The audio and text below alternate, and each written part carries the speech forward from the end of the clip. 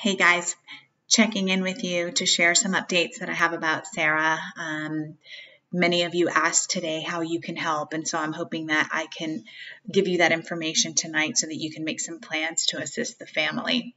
Uh, before I let you know that, though, I, I want to share some things that I learned about Sarah since this morning. I knew Sarah to be this happy, uh, grateful, humble, joyful spirit who always chose to look at the positive side of things and who loved Duluth and adored her students and cherished her girls, her four girls. Um, what I didn't know was that Sarah had a really, really tough life. Um, several of you today who are very good friends with her reached out to me to share with me some of the stories about who Sarah is and was. And I also got to talk to her brother, James, this evening, who shared some things as well. Sarah lost her mom as a toddler um, and had some difficult, difficult challenges that she had to face in life. And as a young adult and an adult, found herself in situations that many of us would have just kind of given up in. Um, and she never did.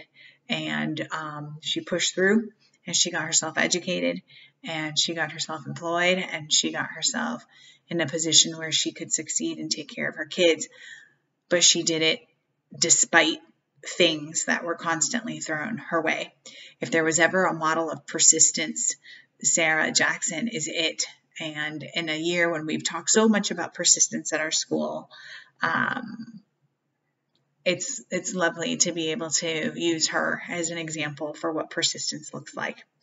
Um, her brother James came in from Oregon today to help get things in order and told me that he wanted you to know that Sarah had a tough life, that she was a fighter, that she persevered, that she persisted, and that she would have done anything for her four daughters. And in the end, that's exactly what happened.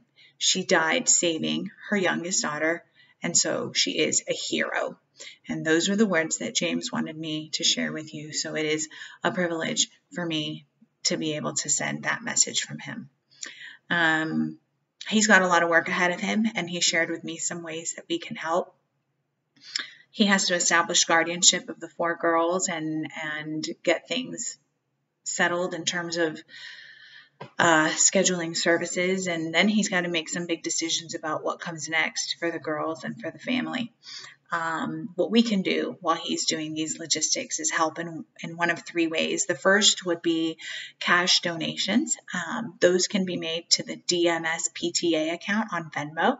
So you can just Venmo at DMS hyphen PTA. And if you'll put Sarah in the comment, the PTA will save all of those that are earmarked for her or intended for her family, and they will give that amount to James and the girls. The second way that you can help is by providing restaurant gift cards. Um, the PTA is going to feed the family fresh homemade food tomorrow, but James said that sometimes there's so much food that it goes bad and that the girls sometimes have some picky um, tastes. And so having just restaurant gift cards um, would be the easiest way for him to get them fed sort of on the go. Um, their favorite places are Chick fil A and Chipotle, but of course, any thing would be appreciated McDonald's, Burger King, Wendy's, Moe's, Zaxby's, um, and then, of course, Publix, Kroger, those types of cards would also come in very, very handy. The third way that you can help is one that we don't think of very often, which is basic household supplies like paper towels, toilet paper, cleaning supplies, um, and even hygiene products. Um, James is now going to take care of girl, four girls ages 9 through 20, and there are plenty of items that they might need that they no longer have their mom to help them get. So things like hair hair products, razors, um, deodorant, um, feminine products, those kinds of things would certainly come in handy and would save some some trips to the to the pharmacy. Um, so if you can help in one or more of those three ways, it would be greatly appreciated. Um, and if not, we certainly appreciate your, your prayers and your good thoughts. We have three Duluth cluster students that are going to need a whole lot of love and support.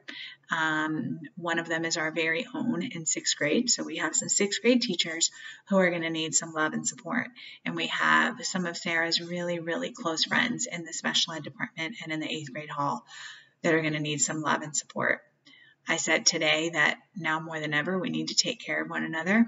Um, and I mean that if, if things weren't rough enough before today, they certainly it certainly came to a head today. And the only thing that matters is taking care of our neighbors, taking care of our students, and taking care of ourselves.